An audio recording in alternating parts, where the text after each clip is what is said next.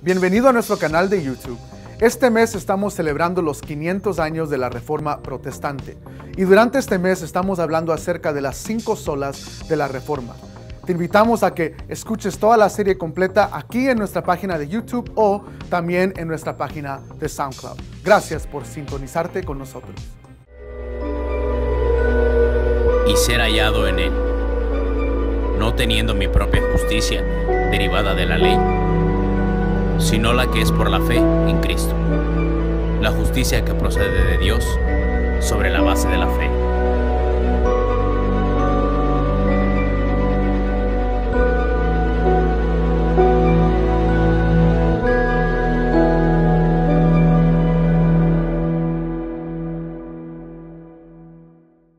Hoy de veras es una, es una sesión muy especial.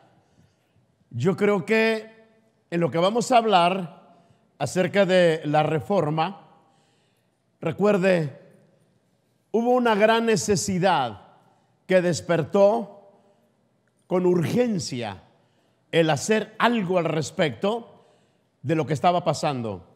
La iglesia que fue nacida en el corazón de Dios y que fue en realidad traída a luz por la voluntad divina, empieza a deteriorarse en tal manera por la aportación de conceptos humanos, tradicionales, ideas religiosas, cosas que no tenían nada que ver con la palabra, y la iglesia empieza a apartarse increíblemente. Para el siglo III, la corriente original de la iglesia había sido en realidad totalmente perdida en medio de tantas doctrinas humanas, de tal manera que el apóstol Pablo escribe a Timoteo y dice, ten mucho cuidado porque van a llegar doctrinas de demonios. ¿Ha leído eso en Timoteo, verdad? Entonces, ¿qué quiere decir? Una doctrina de demonio o una doctrina errónea tiene toda la intención de apartar a la gente del plan original de Dios, de reemplazar la sana doctrina con conceptos humanos, con ideas religiosas, legalistas y tradicionales, que no tenían nada que ver con el diseño original de Dios. Por eso es que urge, hay una urgencia. ¿Por qué? Porque pasan 1200 años después de los 300 primeros años, cuando la iglesia se aparta y viene una, aprendimos la semana pasada, la edad oscura de la iglesia, donde en realidad había una ignorancia absoluta de parte de los fieles que asistían a la congregación de la palabra. No sabían qué decía Dios en su palabra. Por eso es que hoy vamos a retomar la semana pasada hablamos de sola escritura, solo la palabra de Dios, que es la autoridad suprema dentro de la iglesia, delegada por el Señor. Hoy vamos a ver esta otra palabra, sola fide o sola fe. Quiero que tomes tu Biblia conmigo y vamos a declarar lo que siempre hacemos para no perder de vista la palabra. Esta es mi Biblia, la palabra de Dios yo soy lo que mi Biblia dice que soy. Yo tengo lo que mi Biblia dice que tengo. Y yo puedo lo que mi Biblia dice que puedo. Estoy listo para recibirla. Sé que me cambiará la vida. No seré la misma persona. Mi mente está alerta, mi espíritu receptivo. Sembraré la palabra en la buena tierra de mi corazón y va a producir fruto en abundancia para la gloria de Dios. Amén. ¿Cuántos son buena tierra en esta mañana? Dile a la persona que está a tu lado, prepárate para una cosecha sobrenatural de su palabra. ¿Ok? Vamos a ir rápidamente. Romanos 3, 28. Mientras lo busca, déjeme hablarle un poquito. Estamos hablando de las cinco solas de la reforma. Y muchas veces cuando hablamos, esta es la segunda sola, y esta expresión en realidad es muy importante.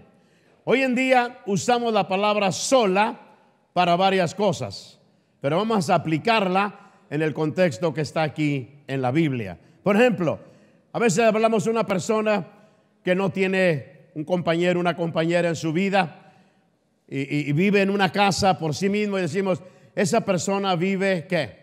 Sola. O cuando una casa está inhabitada, nadie está ahí, decimos, esa casa está sola. Esas son solas. Pero esto es lo que dice Romanos 3:28. Si ya lo tiene, vaya conmigo. Porque concluimos que el hombre es justificado por la fe, aparte de o sin las obras de la ley. Y esto nos entra en la palabra sola. Es solamente justificado por la fe. Pero el problema empieza. ¿Qué es esa fe que justifica? ¿Qué es esa fe que salva? Muchas personas hablan acerca de esa palabra que en la original es pisteo, o sea, fe, fidedigno, fiel, todos se derivan de esa palabra, y decimos, bueno, yo tengo fe que mañana va a ser un buen día. O yo tengo fe que los análisis que el doctor me sacó van a salir negativos en cualquier enfermedad. Oh, yo tengo fe que este negocio va a levantarse bien. Oh, yo tengo fe que me van a hacer el préstamo en el banco. En otras palabras, usamos la palabra fe a veces muy livianamente sin entender. La mayoría de las veces no es fe, es simplemente, como dirían en inglés, wishful thinking. O sea, ojalá que, a lo mejor sucede. Y cuando las cosas no salen como habíamos planeado o anticipado, decimos, como que ese asunto de la fe no funciona. Es que realmente no estabas ejerciendo una fe bíblica. ¿Qué es fe? Y más que todo, fe no es solamente, y lo vamos a ver ahorita, hay tres elementos vitales en la fe que los vamos a martillar fuerte, remacharlos bien para poder en realidad cuando hablemos de fe, entender y saber a qué nos estamos refiriendo. Porque es muy importante. Fe realmente es actuar en lo que estamos creyendo. En lo que dice la palabra de Dios. No en lo que yo creo, no en lo que yo pienso. La fe siempre tiene un fundamento. La fe tiene algo en que pararse firme. La fe no solamente es una vana ilusión, es un espejismo, ¿Es un delirio de alguna persona o es simplemente una emoción? Aunque la fe produce emociones, no es una emoción. Ahora, es como el amor. El amor no es un sentimiento. Produce sentimientos de afecto, de cariño y todo lo demás, pero en sí no es un sentimiento. Entonces, el entender el concepto de la fe correctamente nos va a ayudar para poder realmente analizar a la luz de la palabra qué es lo que quiere decir la palabra fe. Ahora, la expresión significa, en este verso que leímos, salvación por fe solamente, o dicho de una manera teológica, justificación solo por fe. Ahora, esta doctrina en realidad es de suma importancia. Los reformadores, cuando empiezan a traer a la luz cosas que se habían perdido, cosas que la gente como no podía leer la Biblia, o si la leía no la entendía porque no estaba en su idioma, entonces la gente realmente creían lo que alguien había dicho, pero no abrían la Biblia para decir, wow, esto es lo que dice Dios. Por eso es que en ese tiempo de la reforma, cuando ellos descubren la fe, especialmente Lutero, cuando abre las páginas de la Biblia y llega al libro de Romanos, él era un maestro en un seminario teológico y cuando empieza a estudiar dice, wow, ¿qué hemos estado haciendo por años? Hemos estado enseñando que la fe es obras o que las obras producen fe. Y realmente dice, no. Además, que las obras producen salvación que las obras te salvan, cuando la Biblia enseña una cosa totalmente diferente. Y eso fue lo que empezó a destapar o diríamos a descubrir el verdadero conocimiento de la fe de Dios. Entonces, los reformadores cuando descubren esto, empiezan a predicar que la parte del hombre es simplemente responder a la misericordia, a la gracia de Dios, o sea, que ha sido manifestada a través del sacrificio de Cristo en la cruz del Calvario, y esta respuesta es traducida por su sola fe. Para los efectos de la salvación no debía estar adornada con obras que la condujesen a ser salvo. ¿Por qué? Porque la fe es la respuesta del hombre a su creador. Fíjate bien, Lutero acuña varias frases y una de ellas dice, ¿sabes qué? La sola fe es el artículo principal sobre el cual la iglesia o se sostiene en pie o se derrumba. Fíjate bien, todo, todo es por fe. Por fe entendemos, dice Hebreos, que el universo fue compaginado, constituido. Put it together. Por fe entendemos. Por fe agradamos a Dios. Por fe recibimos de Dios. Por fe somos vencedores contra el mundo. Entonces todo circula alrededor de la fe. Por lo tanto, es de suma importancia el tener un conocimiento correcto acerca de la fe. Porque si la fe es el medio, el agente que Dios estableció para traer tantas cosas a nuestra vida, entonces debemos de saber cómo estamos operando en la verdadera fe. Ahora, el no creer esta doctrina no solamente, y escúchame bien, nos deja sin salvación, sino que llevaría a la iglesia misma a su ruina total. Es decir, la transportaría otra vez a aquella edad oscura donde la gente no sabía lo que la palabra de Dios enseñaba. Ahora, Déjame decirte algo más. Podemos muchas veces pensar o creer varias cosas en las que no estamos de acuerdo, que no afectan la eternidad respecto a la segunda venida de Cristo. ¿Será antes del milenio? ¿Será después del milenio? ¿Será durante el milenio? ¿Cuándo ocurre el rapto de la iglesia? ¿Método de bautismo? aspersión, inmersión, rociamiento, etcétera, etcétera.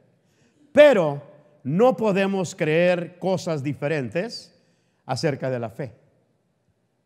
¿Sí me está entendiendo? Porque la fe es vital. La fe es esencial. Hay cosas que no son esenciales. Pero hay algo que es sumamente radical, esencial, es el saber dónde está nuestra fe. Por eso es lo que te digo. Cuando hay gente que dice, tú creíste en Cristo, oh, yo sí he creído. Miles de gentes cada domingo hacen lo que le llamamos profesiones de fe en los altares. Nunca los volvemos a ver. Porque hicieron una profesión de fe, pero no tuvieron una posesión de esa fe. Algunos vienen al altar porque los obligan los presiona. Especialmente si la esposa trae al esposo que casi nunca viene y, alguien dice, viene a aceptar a Cristo y ándale, le dobla el brazo y ándale, pasa.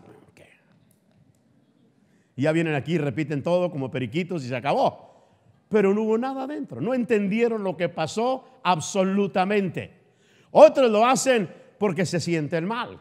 Tal vez escuchan un sermón de truenos y relámpagos, de fuego y azufre, y que se van al infierno. Y dicen, no, no, no, yo no quiero ir al infierno, yo mejor me entrego a Cristo. Y hacen una profesión, pero realmente no entienden el aspecto de la fe.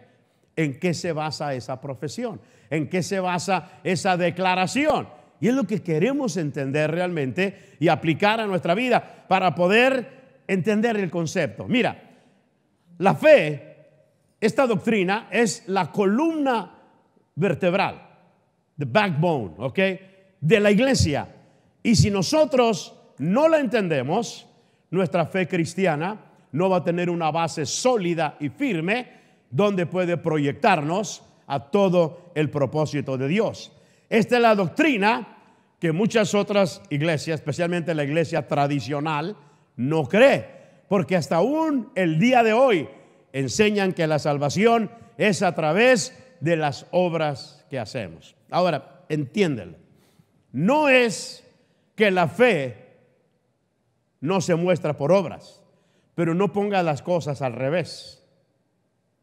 Las obras, escúchame bien, las obras no producen fe. La fe produce obras. No hacemos obras para ser salvo. Hacemos obras porque ya somos salvos. En otras palabras, las obras es el esfuerzo humano para alcanzar algo. Tú en tu trabajo vas y dices, bueno, aquí están las reglas del trabajo, llegar a tiempo, hacer tus tareas correspondientes, a no robar cosas de la compañía, eh, no perder el tiempo, malgastarlo, etcétera, etcétera. ¿Ok? Ahora, tú miras eso y dices, yo voy a hacer un poquito más que eso. Se me pide que haga 50 piezas al finalizar el día. Yo voy a hacer 60. Ahora, como buen trabajador, esas obras de hacer algo más, te pueden dar un buen crédito con tu patrón. Te puedes ganar un bonus, ¿ok? Porque son obras para eso. Pero eso no se puede aplicar en la vida cristiana. O sea, en la vida, vida cristiana no se trata de que dices, bueno, toda mi vida he leído un capítulo de la Biblia cada día, pero ¿qué tal si leo dos? Como que si leo dos, oh, oro otra hora más, como que me voy a ganar un punto especial con Dios. No, porque estas cosas en realidad no generan eso. Leer la Biblia más, orar más, venir y congregarte más, te ayuda a ti en tu crecimiento y desarrollo personal, pero no te hace más salvo. ¿Sí me entiende? Esto es como disciplina personal. Es algo bueno, pero no te hace mejor que otra persona. Entonces tenemos que entenderlo. Fue esta doctrina, juntamente con la doctrina de la sola escritura, que ya vimos las que hicieron que estos reformadores que empiezan a traer un despertamiento espiritual a la iglesia rompen con aquella iglesia tradicional que había estado enseñando cosas de origen humano y no de la palabra de Dios. Por eso, curiosamente, aunque Lutero en su estudio, en su ah, análisis de la palabra de Dios, terminó defendiendo esta doctrina con su propia vida, es curioso que no fue así desde el principio. ¿Por qué? Déjame decirte un poco de historia. En la época en que Lutero es despertado a esta tremenda realidad, número uno, la iglesia institucional conocida en aquel entonces, o la Roma imperial, la Roma papal de aquel entonces, era la dispensadora de la salvación. Si tú pertenecías a esta iglesia, automáticamente eras salvo. ¿No ha oído usted la frase hasta hoy en día, 2017, como quien dice 15 siglos o 16 después, que la gente dice, oh, la Santa Madre Iglesia. ¿A quién se está refiriendo? ¿A la iglesia cristiana? ¿A la iglesia evangélica? No. Están hablando de la iglesia tradicional, la iglesia católica. Santa Madre Iglesia. La que es dispensadora de todas las gracias. A través de los siete sacramentos, tú recibes todas las gracias que hay, habidos y por haber. Por eso es que han empezado un montón de doctrinas que simplemente no tienen base bíblica. Y créemelo, después de haber tenido, ¿qué diríamos?, sesiones de apologética o sesiones de debate, diríamos, con sacerdotes, con teólogos jesuitas, y simplemente abriéndoles la palabra, decía, you show me, enséñame aquí en la palabra, donde dice lo que ustedes enseñan donde habla acerca de que si un niño no es bautizado, es un animalito y se va a ir al limbo. Donde dice la palabra que hay un purgatorio. ¿Qué vamos a purgar allá? O Cristo nos perdonó de todos nuestros pecados o no. Dice la Biblia, su sangre nos limpia de qué? De todo. De todo. Venial, mortal, whatever you name it. Lo que sea, la sangre de Cristo nos limpia de todo pecado. Entonces, ¿qué quedó? Entonces, cuando vamos a la palabra, ellos empezaron a sacar todas esas ideas y conceptos. ¿Para qué? Para hacer un negocio lucrativo y hasta la fecha con los fieles. ¿Por qué? Se murió fulano de tal. Entonces venía, ¿sabes qué? Esa persona venía cada año a la iglesia como pájaro de Pascua. Se murió, bueno, vamos a hacerle algunas misas para sacarlo del purgatorio. Oh, ¿la quieres gregoriana? ¿La quieres con música? ¿Con coro? ¿Cómo la quieres? Aquí están las tarifas. Y la gente decía, bueno, pues no me alcanza para la música, pero avienta que el cura lo cante, el que no sabe cantar, pero que lo cante. Y ya, vámonos, porque está en especial, baratito. Y una vez dice que una señora llega y dice, oiga, ya lleva siete misas mi esposo, ya mero sale del purgatorio. dice el cura, mire, dos más y sale.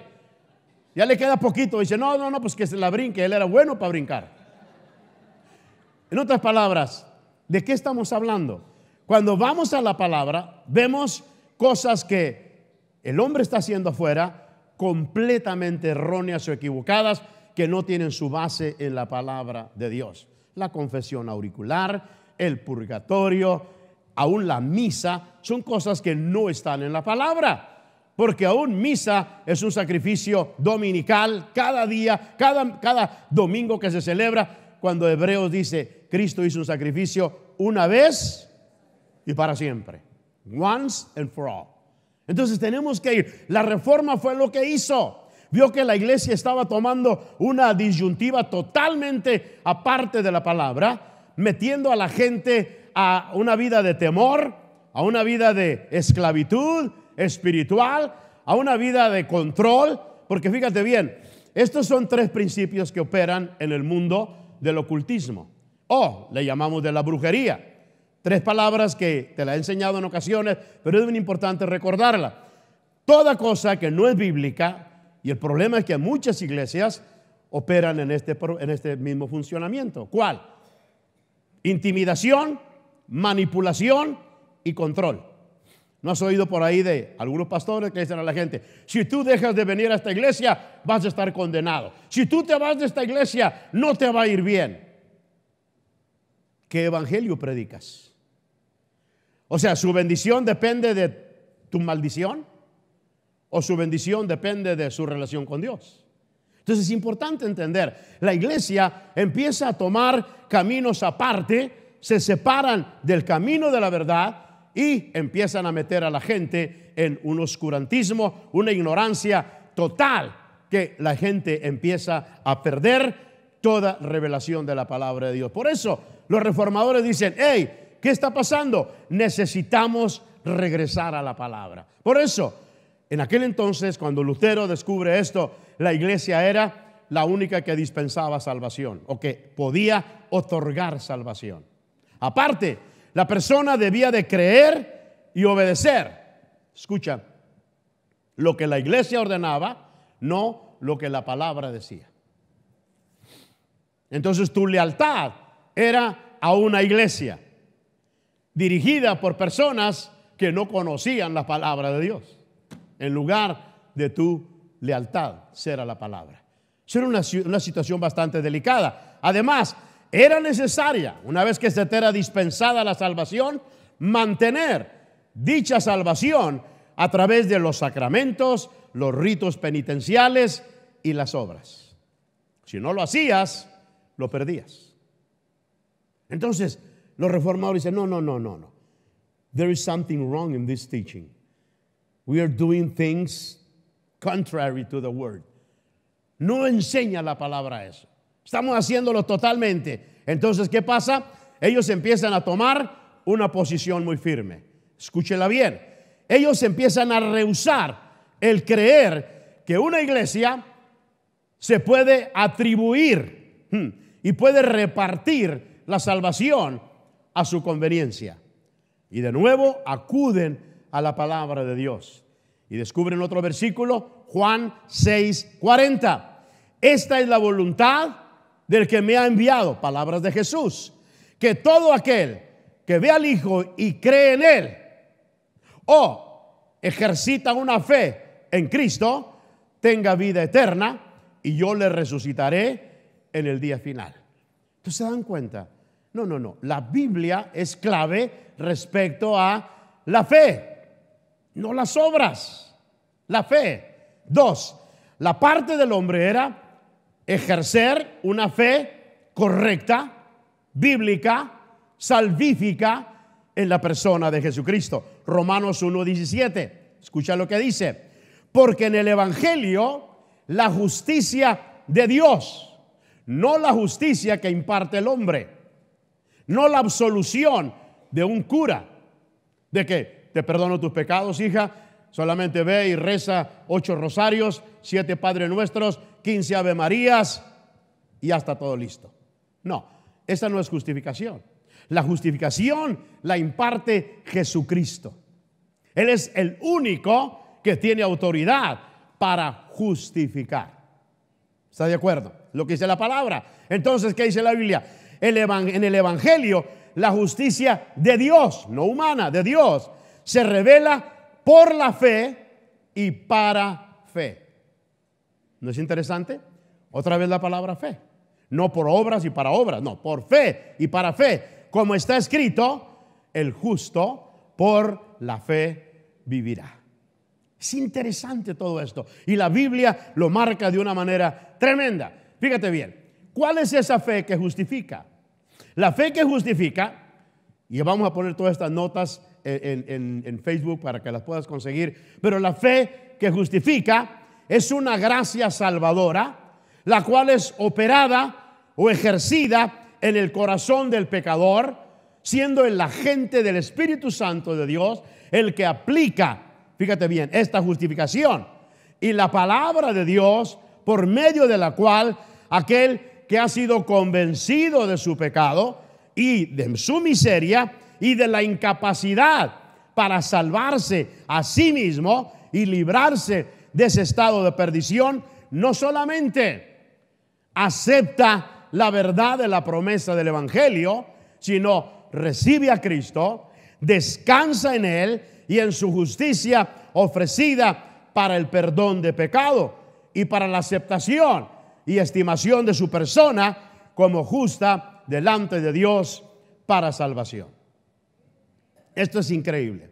Tiene que repasarlo tres, cuatro veces. La fe para justificación no depende de decir, oh sí, yo creo. ¿Por qué creo? ¿En qué creo? ¿Qué clase de creencia o de fe voy a ejercer? ¿Por qué puedo ver que creer en esto me puede salvar? Entonces, la fe salvadora es una fe que conoce. Y vamos a hablar, usted está viendo ese triángulo y dice, ¿qué está hablando? La Trinidad. No, aparte de eso, vamos a hablar de algo muy importante. Tres palabras, tres bases fundamentales donde la fe salvadora, la fe de Dios, se establece. Recuerde, Santiago 2, 18 y 19 dice así también, la fe, si no tiene obras, es muerta en sí misma. Oh, la palabra muerta aquí está separada de la actividad de Dios. Está separada del poder de Dios. Una fe muerta. Pero alguno dirá, tú tienes fe, yo tengo obras, muéstrame tu fe sin tus obras y yo te mostraré mi fe por mis obras.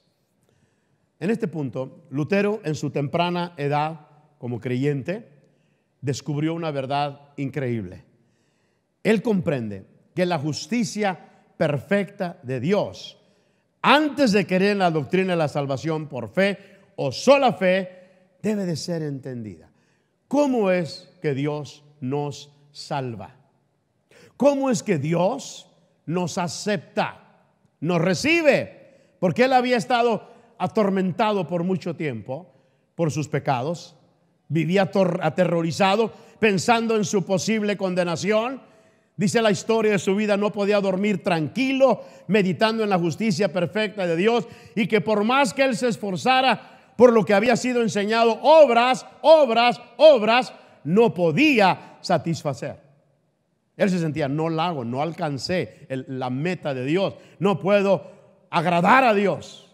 Siendo una persona metido en la palabra, decía, no puedo todavía. Y eso le causaba una angustia increíble. Y lo que más molestaba a Lutero era el hecho de que, a pesar de que había sido un monje impecable, no encontraba paz para su alma. Dice la historia que él se llegaba a confesar hasta tres horas al día. ¿Por qué? Porque era lo que había recibido de enseñanza y no le producía ninguna paz interna. Él describe este periodo de su vida como uno de gran desesperación. Pero en 1516, mientras enseñaba el libro de Romanos, Lutero llega a entender la esencia del Evangelio, mensaje de las buenas nuevas. Y comprende lo que dijo en Romanos 1.17 que ya vimos, el justo por la fe vivirá. Y él se recuerda, este concepto ya se había enseñado en el Antiguo Testamento. En el libro del profeta Habacuc, capítulo 2, versículo 4, es lo que dice, el justo por su fe vivirá. Y él dice, ¿cómo? Gente del Antiguo Testamento ya conocían el concepto. Y yo no lo entendía. ¿Qué fue lo que pasa? Cuando comprende esa verdad, él expresa lo siguiente. Finalmente, dice él en sus escritos, meditando día y noche por la, por la misericordia de Dios, comencé a entender y fíjate bien, la fe lo que hace en primer lugar, te produce un entendimiento. La fe no es ciega. Y es el problema de mucha gente. Pregúntale a muchos, ¿por qué crees que ha sido justificado? Ah, pues, pues yo soy, ¿por qué eres justificado? ¿En qué basas tu justificación? Y te das cuenta de su crasa ignorancia no saben por qué pueden decir que son justificados. Y de paso, acuérdate, justificación, righteousness, el término correcto, es el estado correcto o permisible de que tú puedes estar de pie ante la presencia de un Dios justo y Él te mira en Cristo como si nunca hubieras cometido pecado. Dice uno, ¿cómo? Sí. Y esto porque suceden dos cosas que las vamos a ver en un minuto. Pero escúchame bien. Justificación, it's a right standing before God. Tú estás justo delante de Dios. No por lo que hiciste. Porque todo lo que hiciste fue para declararte impío, pecador, corrupto. Recuerda lo que dijo Isaías. Todas tus justicias son como trapos de inmundicia. Le voy a decir algo, no se ofenda, pero léalo en un diccionario hebreo correcto. ¿Sabe qué son trapos de inmundicia? El profeta, la imagen que tiene y que pinta en su, en su corazón, en su mente, ahí en el, en el canvas de la mente, lo que él dice, trapos de inmundicia, era, era trapos o tela que usaban las mujeres en su periodo de menstruación. O sea que él dice, ese es un trapo de inmundicia. Una mujer durante su periodo era considerada de lo peor, sucia. Entonces, fíjate lo que está diciendo. Si esos son tus mejores trapitos, imagínate los peores. Entonces está diciendo, no, no, entonces justificación no es por lo mejorcito que puedo hacer, porque no hay nada que puedas hacer. Todo, entonces es donde entra la fe. Entendemos, la fe es lo que Cristo hizo y lo que Cristo te dio. No es lo que tú produces. Oh, es que yo tengo fe. Tú no tienes nada. Tú recibes todo, pero tú no tienes nada. Tienes solamente lo que Dios te ha impartido no lo que tú has producido. Mire, mucha gente, ah, yo creo esto, yo creo el otro. Sus vidas no cambian, sus vidas son iguales. Oh, yo creo en esto. ¿Por qué? Porque simplemente es una mental assent. Es un asentimiento mental, pero no es una fe real. Ahora, vamos a seguir porque el tiempo es mortal. Vamos adelantito. El justo, dice la Biblia, por fe vivirá. Mira, si le preguntas a cualquier persona que encuentres, ¿por qué piensas ir al cielo? Uh, la lista es increíble. Bueno, yo no he matado a nadie, nunca he robado a nadie, amo a mi familia, soy un buen trabajador, no soy un borracho, en otras palabras, no soy el más santo de todos, pero tampoco el peor. De manera que Dios puede tomar todo eso en cuenta y me puede dar entrada al cielo. Ahora, ¿es eso lo que dice la palabra? No. No por obras para que nadie se jacte o se gloríe. Entonces tenemos que entender, esto dista mucho de las enseñanzas de la palabra. Romanos 3:20 lo dice, por las obras de la ley ningún ser humano será justificado delante de Él o de Dios. Las obras no te abren la puerta a la vida eterna en Cristo. No way. Entonces Lutero lo entiende. Y una vez que él se da cuenta de que era imposible para él vivir una vida perfecta, la cual le permitiría entrar a la presencia de Dios, él entendió que era posible tener un carácter moral perfecto para entrar a la presencia de Dios, pero no a través de sus obras, sino a través de las obras de Cristo aplicadas a su vida. Y aquí es donde empezamos a entender algo importante. Esa rectitud moral me da me la da Cristo y me la da por la fe que él me dio para ponerla en él. Mire lo que dice Romanos 3:21.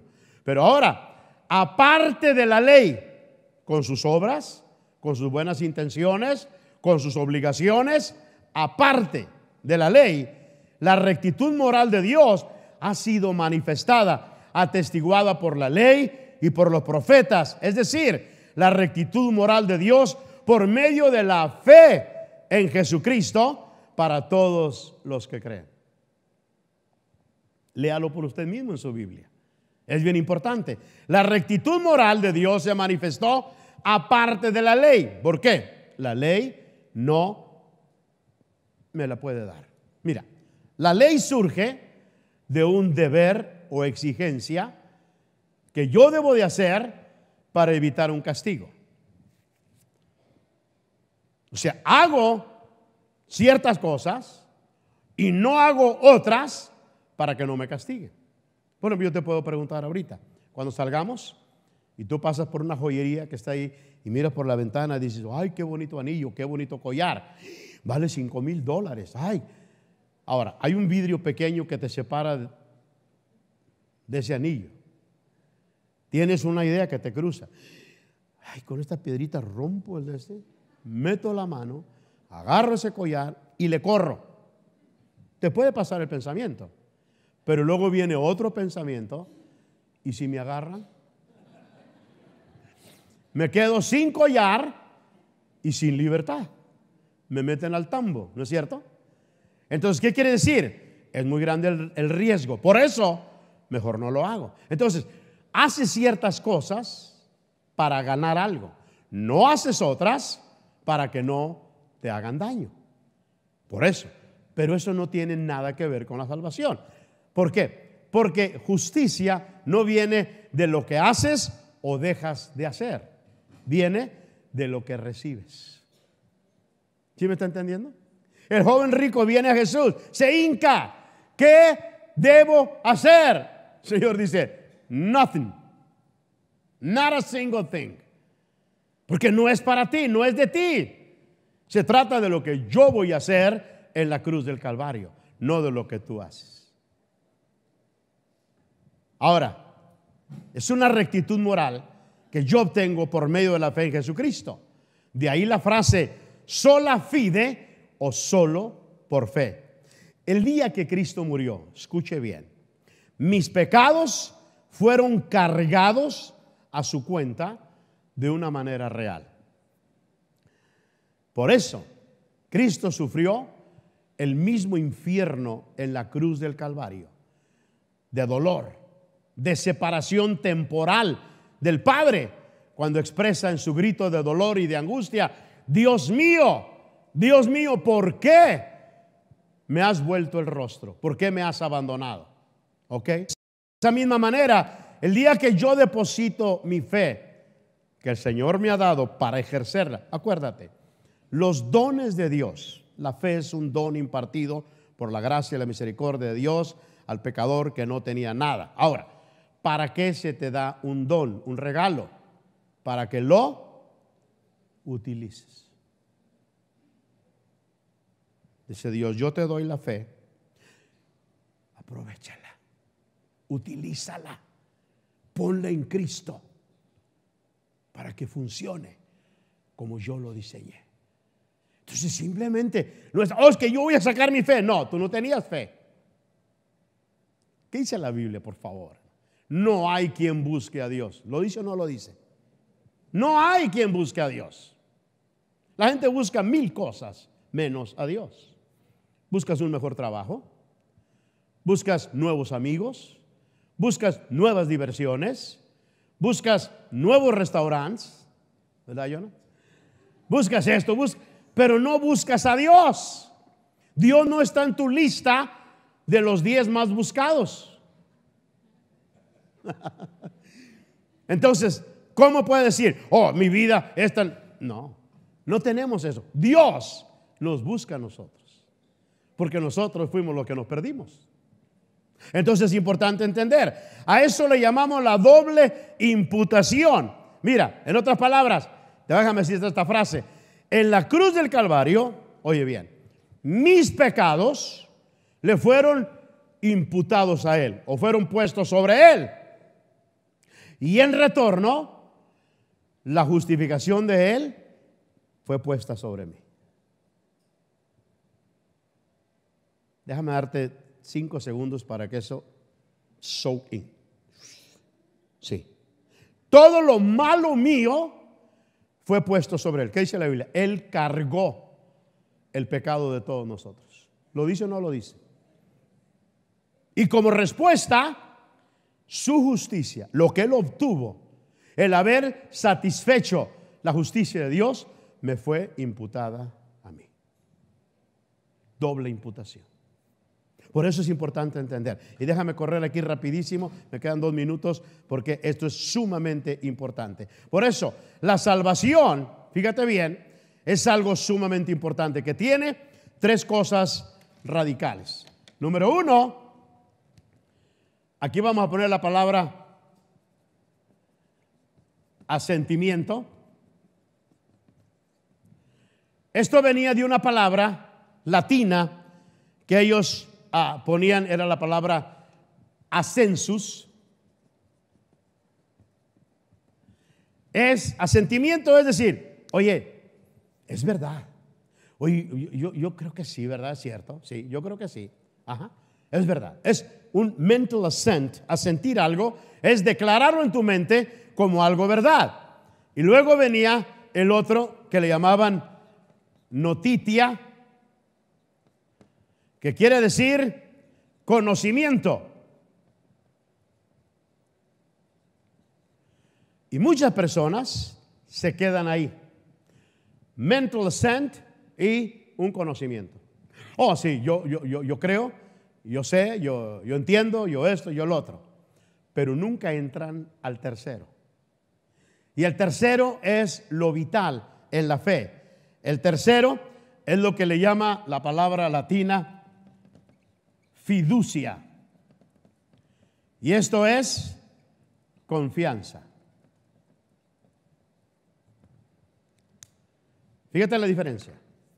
En otras palabras, la fe que me salva necesita noticia, un conocimiento de lo que pasó, que hizo Cristo, que quitó de mí, que puso en mí, que me dio para recibirlo de Él. ¿Qué operó en mi corazón? Notitia, ¿ok? Luego, ese es un conocimiento intelectual. Luego, la fe que salva necesita una convicción de esa verdad. En otras palabras, a sentir es afirmar con convicción que lo que Dios ha hecho es la verdad. Es una declaración de que lo que Cristo hizo en realidad es verdad. Pero, fíjate bien, los demonios también creen y tiemblan. O sea, los demonios tienen estas dos. Ellos saben que lo que Cristo hizo fue verdad y que Él es el único Salvador. Pero ellos no entran en esta. Fiducia, lo que quiere decir es yo deposito mi confianza en Cristo basado en lo que yo he asentido y en lo que yo he conocido. La fe que salva. ¿Sí me entiende? Para ser salvo necesitas absoluta confianza en que la santidad de Cristo imputada a tu persona es lo único que te puede calificar para entrar al reino de los cielos. Es confianza aplicada. Es importantísimo. Ahora, déjame decirte algo en la Biblia. Anota esta cita para que la leas en tu casa, Lucas 8, 43 al 48.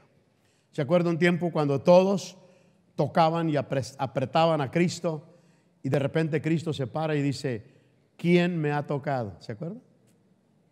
Pedro, fíjese bien, Pedro dice, todos te tocan.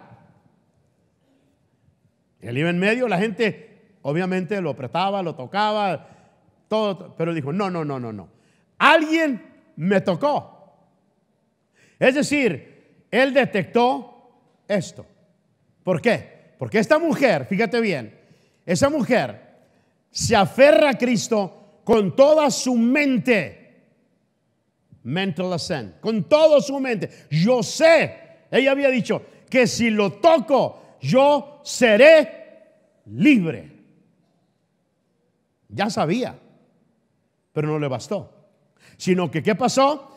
Ella descansó en Cristo. Es decir, puso su fiducia, su confianza total en Cristo. ¿Cuál fue la respuesta de Cristo a esta mujer? Hija, ¿tú qué? Tu fe.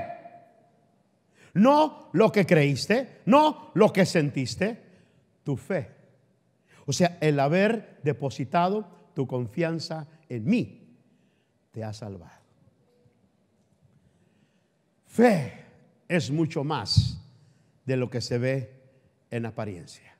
Fíjate bien, creer de todo corazón no solamente significa creer perfectamente en Cristo, abrazarlo con el alma y entendimiento. Significa estar con un vehemente afecto, tener hambre, tener deseo, tener pasión por Él. Por eso es importante. Dios quiere que tengamos ese tipo de fe. Termino con una ilustración. Hace tiempo se la narré, se la vuelvo a, refrescar en su mente. Un tiempo en la frontera de Canadá con Estados Unidos, un hombre del lado canadiense extiende una cuerda de Canadá a Estados Unidos a través de las cataratas del Niágara.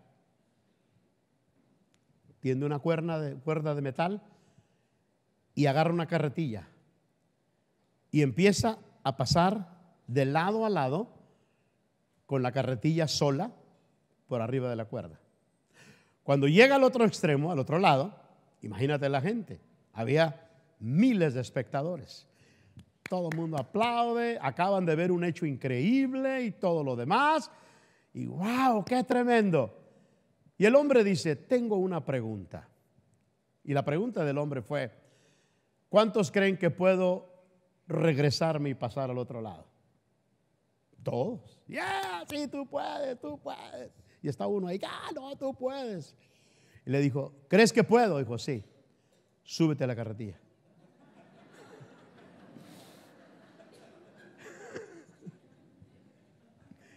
Él tenía este y tenía esto, pero le faltaba confianza. ¿Cuántos creen que Cristo, ah, que Cristo murió en la cruz? Oh, Cristo redimió. Oh, Cristo es el Salvador, sí. Pero ¿tienes fiducia? ¿Puedes poner toda tu vida en sus manos? No solamente fe para decir, oh, yo recibo algo de Él, pero yo sigo mi vida como sea. No.